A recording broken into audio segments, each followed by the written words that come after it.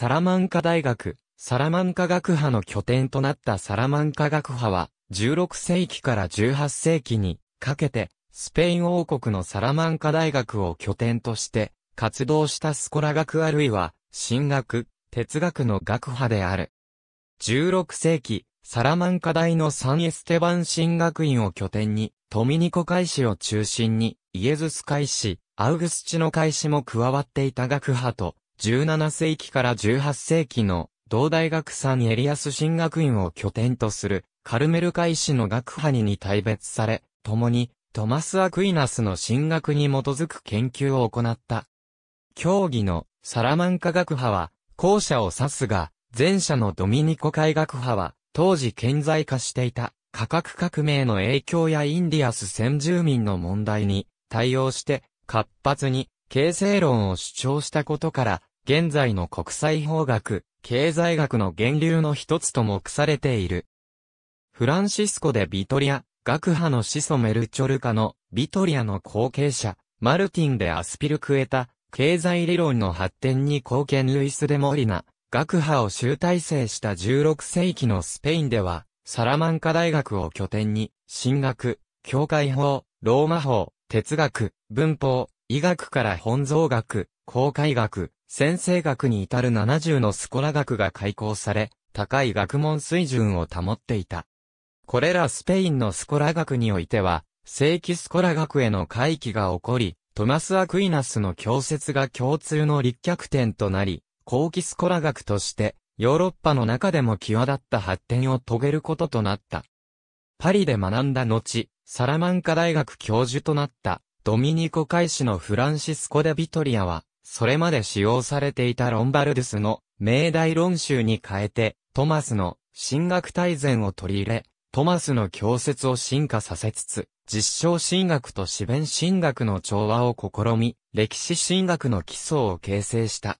また同時に、大学の講義を通じて、トマスの学説を当時の社会、倫理、法、経済の問題に照らして展開した点で、極めて実学的な思考を有していた。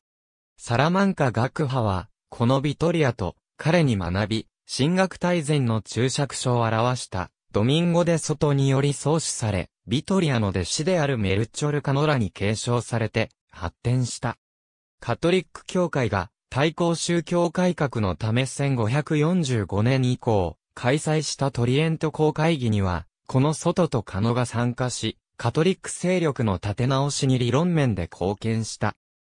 カノは、アール・アグリコラの人文主義的弁証法に影響を受け主張、神学的商戦で神学方法論を確立し、彼の弟子であるドミンゴ・バニエスとイエズス会士であったルイス・デ・モリナの間で戦わされた恩寵論争はカトリック内部でトミニコ会とイエズス会が決裂する契機となった。現存するサンエステバン神学院回廊の天井には、この学派の創始者たるビトリア及び外の円形肖像画が掲げられている。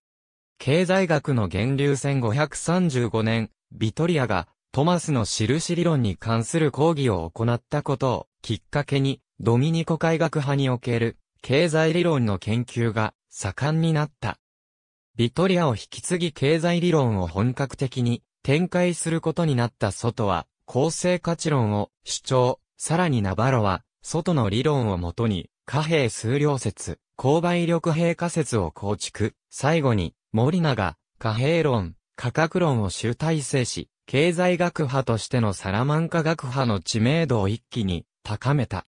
彼らは、生産コストに基づく公正な価格というスコテスの学説を否定し、公正な価格とは自然な交換によって確立された。価格以上でもそれ以下でもないと定義づけた。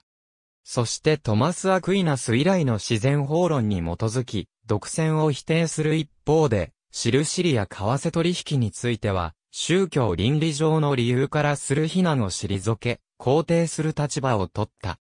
彼らの経済理論は、スペインその他の西欧諸国が直面していた物価投機の原因を説明し、そうした現実とスコラ学の調和を目指すものであった。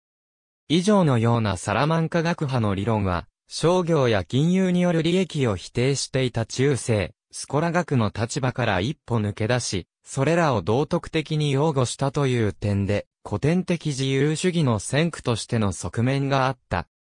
この点を高く評価するハイエクは、資本主義の基礎はカルバン派の教説ではなく、イエズス会によって作られたと主張しており、また、重症主義的経済論であるとの評価もある。その反面、シュンペーターのように、構成経済学の先駆的な要素を認める見解もある。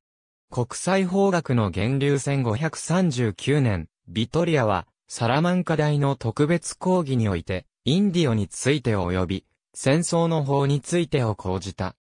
ここで彼は、植民政策をめぐる倫理学的議論において人間の権利を自然権として根拠づけることで異教とたるインディオの権利を擁護し国際法を国家の法の上位に位置づけた。また外もスペイン植民政策の批判的分析を通じてインディオの権利を擁護しようとし、ラスカサスとセプルベダが争ったバリャドリッド論争の際の審議会議長を務めた。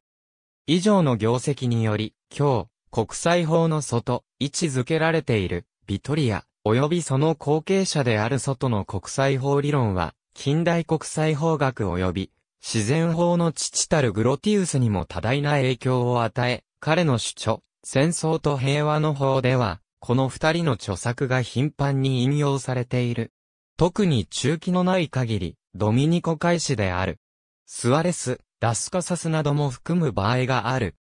1568年の組織改革以来、トマス・アクイナス学説を信奉していたカルメル会は、サラマンカ大における同会の拠点さん、エリアス神学院で、神学研究を行いカルメル会学派を形成した。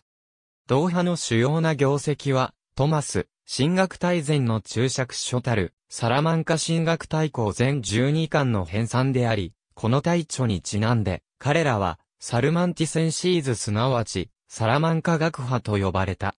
さらに、対抗を補足するものとして、同学院の教授たちにより、倫理神学対抗全6巻が編纂、刊行された。ありがとうございます。